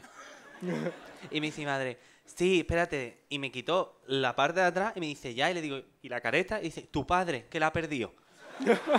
Claro, y yo, te- tú me ves posando en la foto, mi prima así como súper, mm, ¿sabes? Y yo posando en la foto en plan, ¡ja! Y va de cometa azul. Y me la recuerdan mis primos todo el día. Tu madre va de Power Ranger, pero cuando acaba, cuando, ve- cuando gana la batalla. Claro, y se la quita. No, no, se no. va con los colegas a tomarse una caña. Pero lo peor de todo es que yo de ese recuerdo no me he podido olvidar porque mi primo ahora es mi gestor. Entonces cuando yo voy allí cada trimestre, tiene el hijo de puta la foto de los dos Power Rangers allí. Y digo, no tendremos fotos, los dos, para que ponga aquí la del Power Ranger. Y lo veo y digo, esto es para que me recuerde qué mierda soy. De verdad. En plan, acuérdate de Acuérdate. cómo empezó todo. Acuérdate que yo era el que tenía más dinero. A mí también me engañaban con esas mierdas, tío. Yo llevaba desde, también, desde chico, tenía la fijación por tener una Game Boy y también en unos putos reyes me echaron una Game Shield. Y yo le digo, digo, ma, digo, ¿esto qué? es? Digo, esto no es una Game Boy. Dice, sí, porque game, ¿qué significa? Digo, juego. Dice, ¿y boy? Niño. Vale, dice, ¿y game qué significa? Digo, juego. Dice, ¿y chill? Digo, niño. Dice, ¿ha visto? digo, claro. Y fui yo al colegio súper entusiasmado con mi Game Chill. Mira lo que tengo, una Game Chill. ¿Qué hace, gilipollas, del chino? ¿No ve que no se le pueden cambiar los juegos? Digo, ¿cómo que no? Y abro la tapadera de los juegos y ahí venían las pilas. Digo, ¿esto porque se tiene que desmontar? Los juegos van por dentro. Llegué a mi casa, lo desmonté y nevermore. A mí me pasó igual con unos botines es, Nicker, no, lo- la marca de verdad, Nicker, pues estaba claro, es así, ¿no? El símbolo, en plan. ¿no? Claro, claro. Pues yo le dije, mi madre, como no teníamos pasta, me regaló unos botines que eran Noki. Pero a mis ojos la N y la K coincidían. Claro. Y el símbolo era igual, pero al revés, estaba para abajo. Era. Zzz. Entonces coge mi madre muy lista y le da la vuelta al botín porque le digo yo, esto no son Nike. y, y hace mi madre, que no de qué. ¿Cómo que no? Y le da la vuelta. y tú en plan, Y le dije, y claro, te imagínate a mí en el colegio, todos los niños, esos botines no son verdaderos. Y yo, que no. Haciendo el pino. Pasa que Todo el día haciendo el pino, Juan. ahí. Judas Seed. Judosis. Judosida. Vale. Bueno, muy bien, has acertado. ¿Has acertado? Sí, sí. Sí, sí, acertado. Vale, ahora te voy a contar una que es muy, muy guay. Hace un año aproximadamente, no me acuerdo muy bien, Juan y yo hicimos juntos una campaña publicitaria en la que íbamos a Canarias, ¿vale? Íbamos los dos como influencers a Canarias, ¿vale? Entonces éramos nosotros y dos chicas influencers de moda, ¿vale? Eran como cuatro influencers que iban a hacer esta campaña. Pero claro, cuando nos juntamos, yo vi, la, claro, y a mí me dijeron los que eran, miré en el Instagram, y eran dos chicas muy guapas, ¿no? Pero cuando nos juntamos, nos dimos cuenta de que eran chicas muy pequeñas. No me refiero a la edad. La edad también eran jóvenes, tendrían 21, 22. Pero es que eran muy pequeñas de tamaño, quiero decir. Eran muy guapas y, todo bien, pero eran muy pequeñitas, ¿sabes? Todo en una proporción muy pequeña. Entonces el, el anuncio era como, claro, que íbamos los cuatro a Canarias, en plan, ¿sabes? Y claro, date cuenta, el bigardo este y yo, los dos mamut, ¿sabes? Con dos pibas muy pequeñas, al final quedó un anuncio muy turbio que te cagas. Era como, yo se lo decía, ¿eh? ¿Te acuerdas? Yo decía, tío, tal. Y ellos me decían, no, no, está bien. Usted soy gracioso. Eso es verdaderísimo. Claro que es verdad. Bueno, bueno. Eso fue, te lo juro por... o sea, Eso que es a las chicas influencers, ¿no? Pero, escúchame, te digo una cosa. De las cosas más vergonzosas que he vivido yo, ¿eh? O sea, estábamos allí, A llegamos... ver, que lo pasamos. No, lo pasamos fue gracioso, increíble. Fue bien pero gracioso. Increíble. Lo que pasa es que todo el viaje ya se iba desarrollando mal. ¿Por qué? Nos recogen primero, vamos este y yo por un lado, las chicas por otro, nos saludamos, todo muy bien, y dice la, la chavala que nos lleva, ya empieza diciendo, a ver, eh, al piso que os llevo, yo sé que no es mucho. Y este y yo en plan, hasta que se cree que nosotros somos aquí Beyoncé y las amigas, que Claro, nosotros... tranquila, hermana, ¿sabes? Yo me dormimos- claro, en este claro. barrio, tal. En plan, nosotros dormimos en la calle si quiere, que no nos molesta. Claro, lo que no sabía que nos había llevado a un sitio que, te lo juro por Dios, mm, allí han, han matado a gente. Claro, Claro, y el- entramos en el piso era- y empezamos este y yo. Que te lo juro por Dios que este y yo dormimos en cualquier lado. Pero este y yo era con cara de. Y yo, y yo, y yo. Yo me preocupaba por las pibas. Por las chicas, En claro. plan, hostia, si yo pienso que esto es la mierda, Claro que las influencers de moda son como muy. estas, estas pibas estarán ¿Sabes? diciendo, bueno, bueno, se metió con estos dos mamuts y Bueno, esta casa. Tal. Pues ya empezamos así. Y ahora, ahora me ha contado David una cosa que nos pasó porque fue la primera vez que David y yo dormimos juntos y de hecho la ¿Quieres única debido a eso. quieres que cuente sí, sí, ahora lo va a contar, pero es que yo ha sido el momento, el peor momento que yo he visto a David de decir, David ahora mismo no tiene dignidad por culpa de esta tía.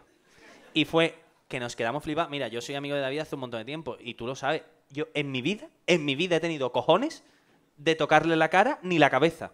O sea, no. Porque es una persona que no te transmite que tú le puedes... A mí, por ejemplo, tú me haces, ¡eh, hago yo, ele", ¿sabes? Que no pasa nada, pero él dice tú, lo va a matar. Y yo, pues estamos así andando por Canarias, después de no sé cuántas tomas para hacer un paseo de aquí a ahí, este ya amargado, en plan, pero esto por qué lo está haciendo así. Y de repente coge una de las chicas de la, de la agencia y hace, está grabando así y de repente hace, Está haciendo una story. está ¿no? haciendo una historia grabando y de repente hace, enfoca a David y hace No, David vino, como... vino como de lejos. Claro, claro, y va grabando y de repente se enfoca en David y hace de repente, No, vino como todo el, todo el camino de lejos hasta que llegó a mi, a mi frente. y yo, pero que le dio, ¿eh? Que hizo... Y me dio, y yo miré a Juan así. Y yo, que te Y lo Juan juro. me miró como diciendo, Claro, mi cara era de. No, no, no, no, no. Y yo en plan, David, aguanta. pasado. Y este con cara de. ¿This is the real life? O sea. De hecho, te lo dije, Esa ¿no? broma me la le- se lo dije, digo, ¿is the real life? y este.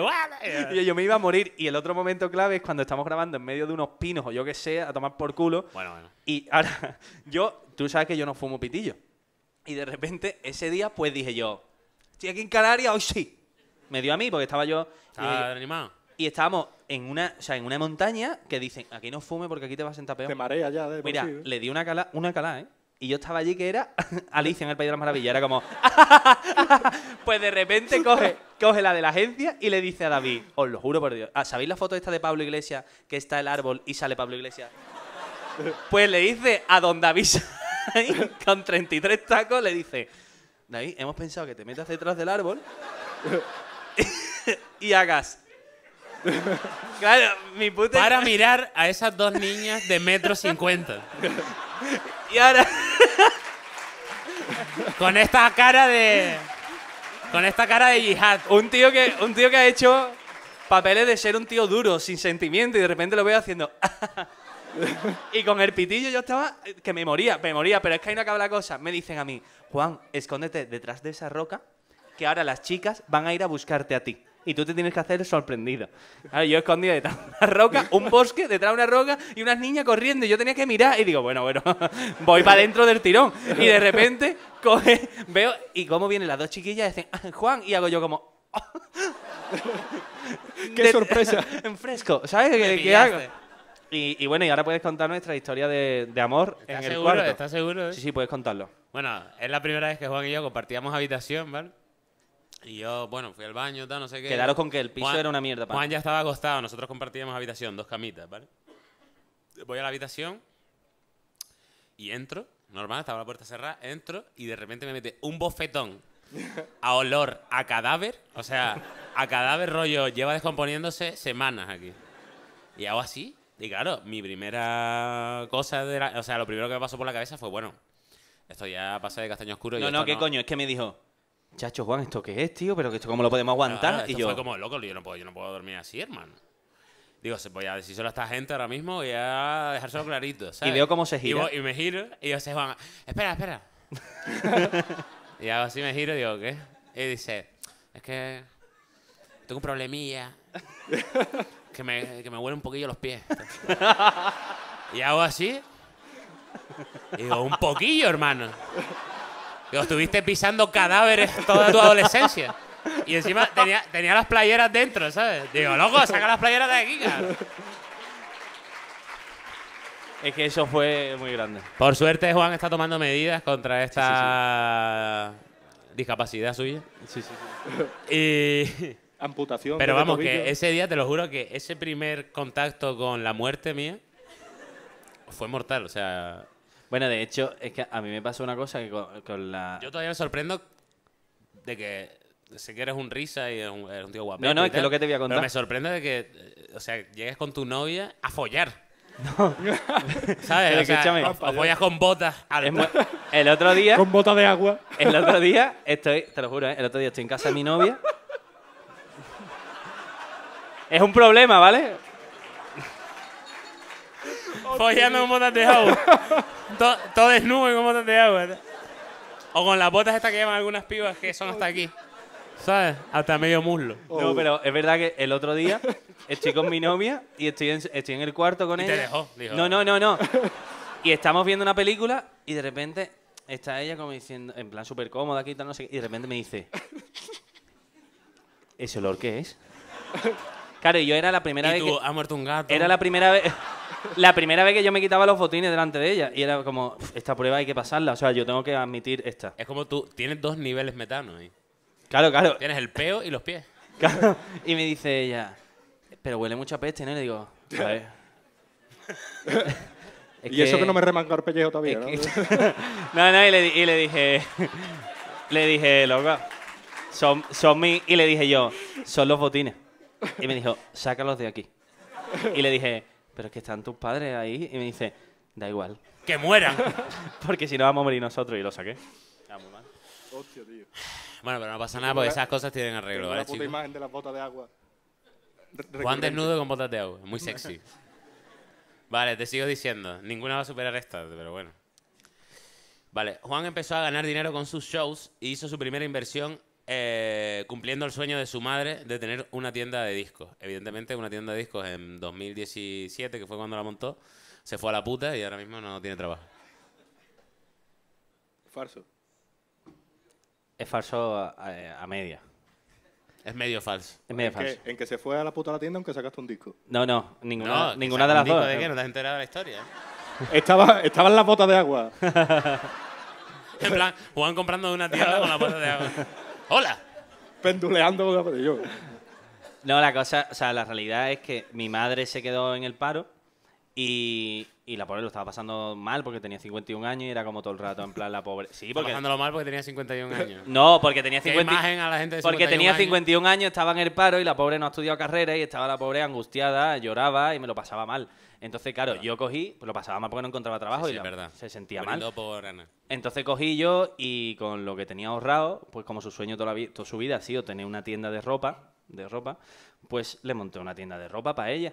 La tienda a mí, yo no quería nunca que me diera beneficio, lo que quería era cumplir el sueño de mi madre que estuviera feliz. Y lo conseguí y no se ha ido a la puta, allí está, en Bellavista. Ajá. ¿Cómo se llama la tienda? A 13. Pero puso su puto nombre, ¿sabes? Hombre, claro. Hombre, fue como me allí en la esquina, en plan, esto es mío. En plan, mamá, esto es para ti, pero no te flipes, ¿eh? No, no, y además de hecho es que, es que tiene, la tienda tiene mi logo allí en grande. esto es mío. Yo entro allí y digo, esto es mío. Deberías hacer, mo- por deberías hacer monólogos en la tienda. Sí, en plan, sí. entre la ropa, en plan, hola. ¿Saben? A veces no os pasa que vais a comprar. Ven a comprar a 13. Bueno, lo más bonito de esto es que, claro, Juan con un dinero en el que se podía haber gastado en un Mustang, lo compró una tienda a su madre. Claro. Lo veo Después, vino el Tú Mustang. no hubieras hecho eso, ¿Cómo que no? Sí. ¿sí? Lo Ah. que pasa- bueno, el día que lo Tu tenga. madre te lo nunca ha digo. querido una tienda, de hecho. ¿Eh? Nunca ha querido una tienda. tu ¿Cómo madre. que no? De bota de agua. Le voy a montar una. Vale, una vez Juan y un grupo de colegas en Jerez, off the frontera, tuvieron que tirar una puerta de la casa de un amigo porque pensaban que dentro habían un ami- ese amigo muerto en su propio vómito porque... A ver, espérate. Hostia, ¿qué dice aquí?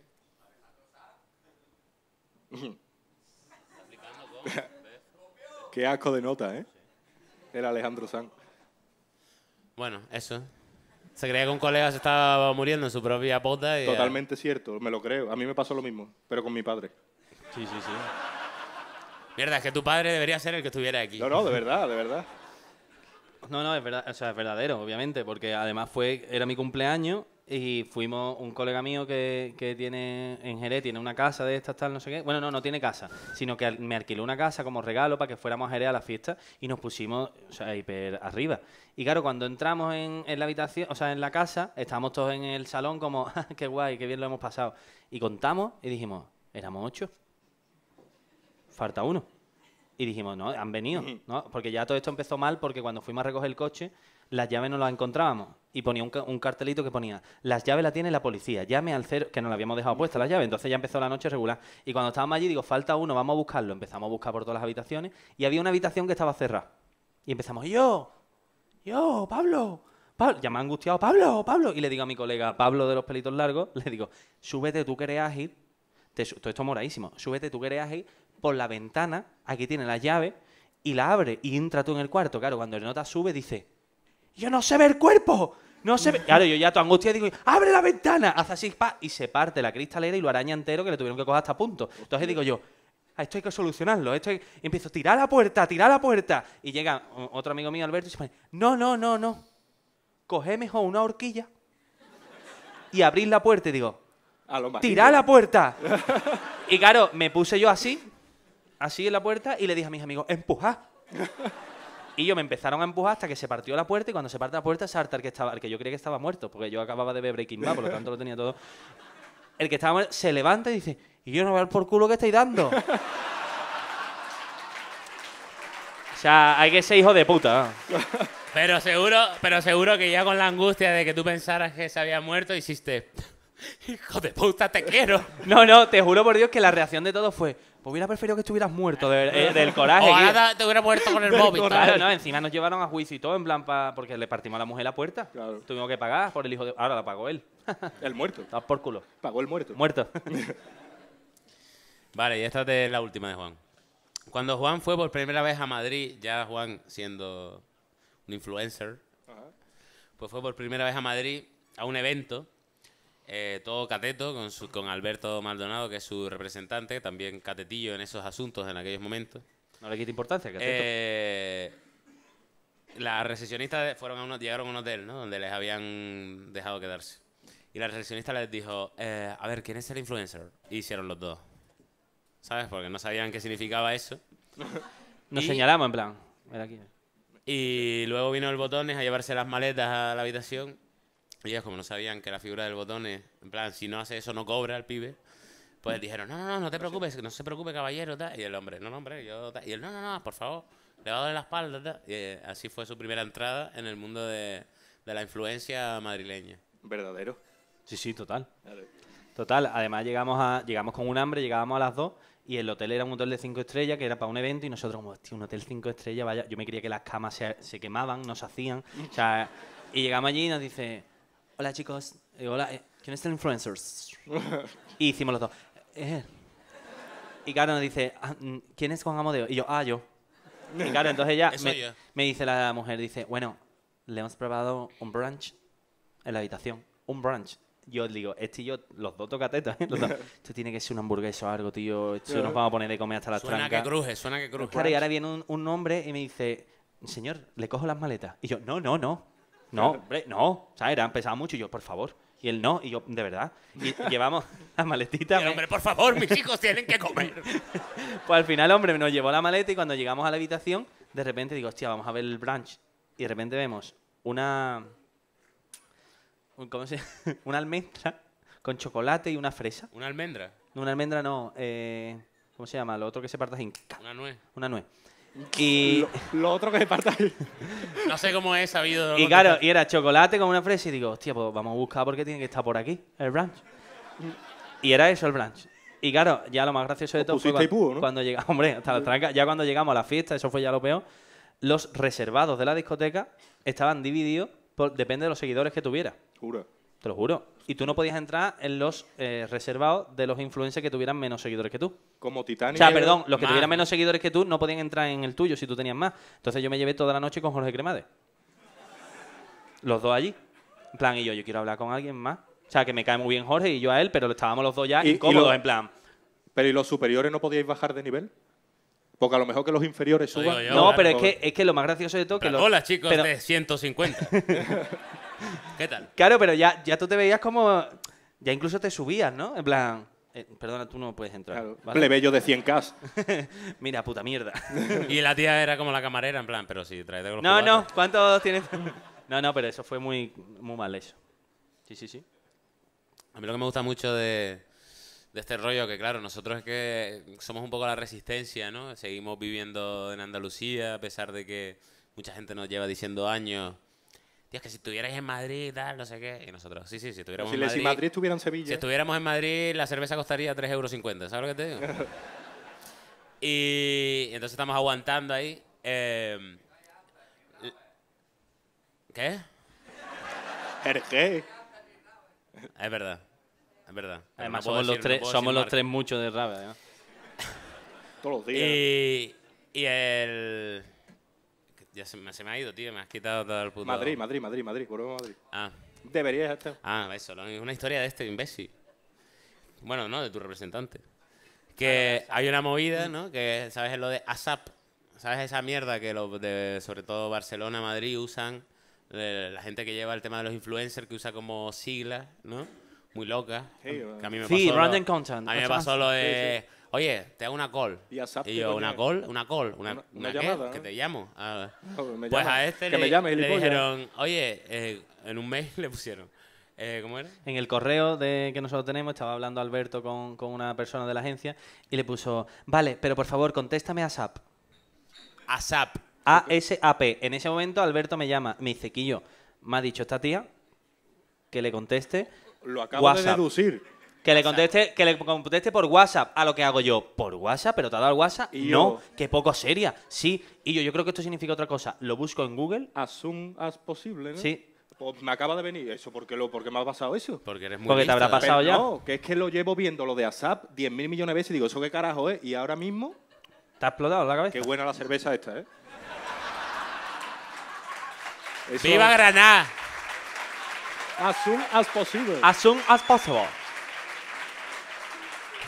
Le digo, le digo a- al pibe, dice, ¿queréis algo? ¿Queréis más cerveza? Digo, mira, tío, pero tráeme cerveza. la- o sea, esta cerveza. Pero no la especial, sino la normal, que esto tiene una graduación que a lo mejor a mitad de Bosca estamos ya todos Sims. En plan, abre, abre. y me dice, y me dice, no, no, no, es- la especial es la normal. Y digo, "O- o- ole su polla, ¿eh? En plan, ¿cuál es la normal? La especial. ¿Y cuál es la especial entonces? La Pues imagínate la supra especial, ¿sabes lo que te digo? La super especial está hecha con sangre de Jun Beef. Claro. Tiene una gota, tiene una gota. Una gota, una gota. Y, ra- y raspan la- los botellines, los raspan en la, en la alhambra, sí. un poco. En plan, "Mm, huele a. La etiqueta. Huele a mozárabe. Vale, pues muy bien, ¿eh? Los dos habéis estado como muy certeros en el tema de acertar Sí. verdaderos Ya y que nos vamos conociendo. Sí, ¿eh? Un. Demasiado. Era fácil, dicen. En plan, eso me lo esperaba yo de Juan. Tienes razón, la verdad. Es que hemos, hemos tenido un filtro. Hemos tenido un filtro porque evidentemente, sobre todo con Pablo, ¿eh? Con Pablo yo he, he filtreado en plan, eh, Pablo, ¿estás seguro? O sea, esto es un delito. y Pablo, pero eso ha prescrito ya. Y yo, pero Pablo, hay gente muerta aquí. y Pablo, bueno, ¿verdad? Pero muy bien. Muy bien, muy bien. Muy bien. Además serví un poco así como de psicólogo, ahora me siento un poco mejor persona. Pues eres horrible como persona. o sea, eres mejor persona comparado con tu yo de niño, claro. A ver, verdad, eso es verdad. Además, Pablo, lo bonito de Pablo es que A ver. Es que cada pausa, cada pausa tuya de dos Lo bonito de Pablo, y que también es un poco inquietante, es que es padre. O sea, padre adolescente fuiste. Bueno, adolescente no. Bueno, tú sí, tu hijo es de mi estatura. Pero, pero porque. En plan, ¿qué pasó, Pablito? ese, ¿Qué pero- pasó hoy? Te parto la cabeza, tío, ¿no? Fortnite, Fortnite.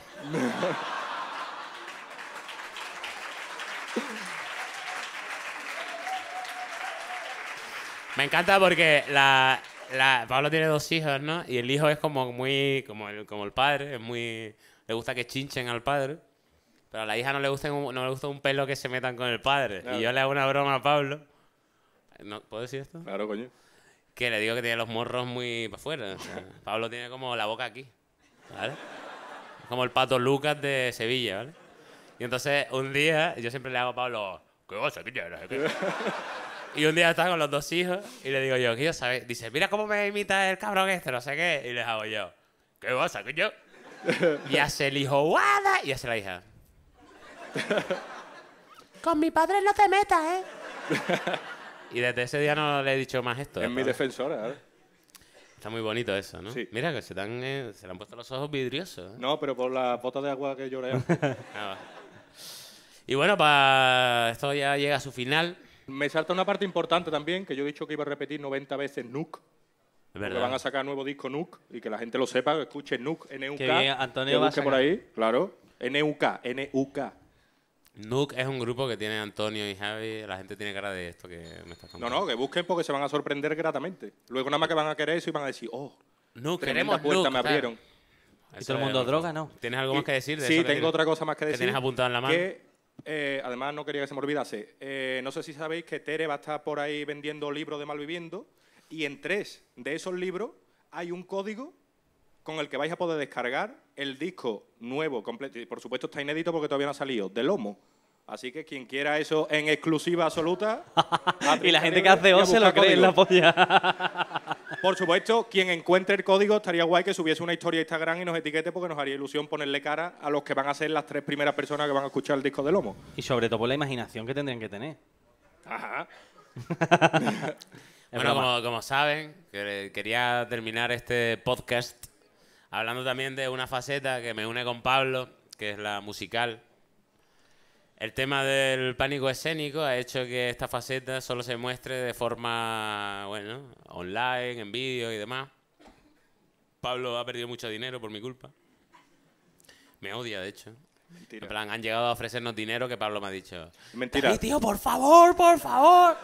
Tengo dos hijos. Uno se está muriendo. y yo no puedo, Pablo, me da cosa, tío. Pero después de toda esta terapia que ha sido jirafas y tal, queremos aquí explicar unas cuantas claves de lo que es, bueno, la música que hemos elegido hacer como Lomo, que es reggaetón Urbano. Vamos a dejarlo en música, música urbana en abierto. Es música urbana latino. Latino sabrosa festiva. Yo, yo en esta parte puedo ir a hacer pipí, ¿no? ¿Tanto la angurria? Vete, pero también queremos que formes Sí, parte. sí, voy a hacer pipí, vuelvo. Yo me estoy meando también, que lo sepas. ¿eh? Ah, te, te espero. Paramos todas las Hay, o sea, hay alguien que quiere ser parte del jirafa, ¿no? Dime, di- ¿qué A ha ver, ¿quién dicho? es esa persona? Allí, allí, allí está. Lo que está claro es que esa persona solo tiene una vocal en su. ah, ¿Pero qué has dicho? ¿Qué has dicho? la A. Eh, queríamos comentaros pues, unos cuantos tips de. Vete, vete. Ah, guay. Pero no hagas ruido, por favor. O sea,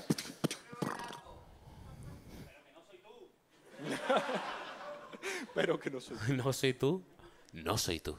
Bueno, unos cuantos tips de, de esto, ¿no, Pablo? Puedes decirle a la gente unos cuantos consejos. Consejos. La gorra, por ejemplo. Claro, la gorra es súper importante, que sea de color oscuro. Y de, de plana. De, de visera plana, claro. Si no, no Después te- es muy importante. Esto en realidad da a esto con lo que queremos hablar con esto es que cualquiera de, de ustedes puede hacer un grupo así. Porque si nosotros somos. Bueno, Pablo no. Pablo, la verdad es que es un tío bien talentoso que tiene un flow inesperado. Seguramente por el día de su nacimiento. Me está acariciando el lomo después del tortazo que me ha dado hace un segundo. ¿Cuál? El de. Te no sé cuánto, mis hijos se mueren. ah". Y ahora vos Pero eso me es. halaga. Eso es de amor. No, pero Eh, sí. Pablo nació el 29 de diciembre. Es un día que nacen los genios. No sé si lo Porque él sabes. nació también el 29 de diciembre, por eso. ¿Hay alguien aquí el 29 de diciembre? Jura. ¿De verdad? Vaya dos genios. Por favor, fuera nos lo, pod- nos- os podéis acercar y, y besarnos. con- A lo mejor, a lo mejor si juntamos así lo- pasa algo. Si juntamos los cuatro pulgares, no pasaría nada, probablemente. Hola, ¿qué tal? Muy a gusto, ¿no? Muy a gusto, A ver, qué suerte, loco. Yo me haría aquí ahora. En esa no se puede. Vale, entonces hemos traído unas cuantas sorpresas. Primero, unas gafas que también son importantes, sobre todo para el pánico escénico. Yo me pongo esto y ahora mismo. Mierda, lo veo igual. Igualmente están ahí. No, pero tú ya estás escondido. Ah, ¿Ahora te vale. digo? ¿Ves? ¿De qué día eres tú? ¿De qué día naciste? 17 de junio. Mínimo flow, ¿sabes? Bueno, ¿quieres No, formar no. parte de la canción? No. Gracias. Pues entonces, ¿para qué pregunta, cojones? No, era por si quería. No, no vale, otra cosa importante es esta. Activado. Uh, ¿Se ha escuchado? ¿Se ha escuchado el autotune? Ah, ¿Qué me dicen? Vale. Vale. Pues. Pues. Como veis, esto. o sea, espérate, coge mi micro. Como veis, esto. O sea, ya hace la mitad del trabajo. Como veis, esto hace la mitad del trabajo. Juan, puedes decir la fecha y cosas así. La fecha. Claro. 2019. tal. Vale, tía, pero que yo, pero que yo lo que ha dicho David que no tengo flow es real. Que no es que, que no es que él lo diga como para meterse conmigo, que es verdad. do- 2019, tú sabes. Pero es que hay que tener un rollo. Venga, va. 2019. 2019. Muy bien, Lo muy bien. intento. No, está bien. Vale. Tú me, a- tú, me vamos a- toca- tú me tocas y yo lo digo. Vamos a hacer esto meándonos un poco. Pablo y yo. Porque tú eres meado, cabrón. Tócame y yo digo fecha, ¿vale? Vale. Nuke. Nuke, ¿vale? Acordado. Vamos a hacer una demostración. hay una parte importante que es, por ejemplo, al principio de la canción hay una parte en la que no suena la base y ahí es donde hay que decir todos los datos personales posibles. La, la fecha, el nombre, Talla de pie. el DNI. Color preferido. Todo lo posible. Luego hay una parte eh, estribillera y luego está la parte del rapeo, que es la base Pablo, Vale. que tiene tremendo flow. ¿Vale? Javi, ¿estás ahí? Está- no te has ido ya. ¿Dónde está Javi? No lo veo. Ah, mira, está ahí. Aquí, coño. Aquí, coño. Vale, pues ponlo ahí y vamos a hacer una prueba, a ver cómo sale esto. ¡Lomo! 2019. 46 de pie, no. papá. 443-19083 W. pablonicaso arroba gmail.com. AB positivo. Jirafa. Vamos, ahora un poco de Antonio bailando. ¿Cómo baila la jirafa haciendo twerking en grana? Mira cómo baila la jirafa You. Haciendo twerking en grana. Estamos en Granada que vinimos al jirafa para hablar de la niñez porque crecer es una estafa. Con lo bien que se está dando patas a una garrafa o riéndose de algún niño con gafas, pelado como una bola, pegándole pedras a la farola. Si te echaban las culpas había que contar una trola. Si tus viejos se iban dejando la casa sola, cualquier cosa te servía para la gallola. Petardos en buzones, en mojones y cancela. Si están documentales de leones y gacelas, 20 duros de extranjis que te arrimaba tu abuela con el mismo disimulo chulo que el que vende una papela. Candelita gitana con el gorrito de lana. Artistas de verdad que sí hacían música en gana. Crecimos con Rosana, no escuchándose tan gana. Tuvimos mejor suerte que los niños de mañana. Y dice. De pequeño todo era más grande, pero porque yo era más pequeño y proporcionalmente todo me parecía gigante. Mi madre parecía mutombo y hoy en día no me llega ni al hombro. Todo parecía más grande porque proporcionalmente yo era mucho más pequeño. Mira cómo baila la jirafa haciendo twerking en grana. Mira cómo baila la jirafa. Mira cómo baila la jirafa. Oye, tremendo twerking de la selva que tiene la jirafa. Bueno, yo quiero aquí un fuerte aplauso para Lomo Goldo, que es su primer temazo en directo.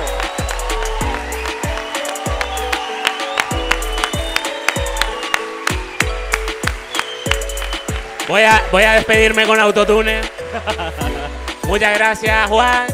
Muchas gracias, Pablo Nicaso. De nada, mi hermano, por ti lo que haga falta.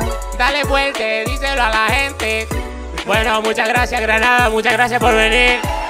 Nos vemos a la próxima.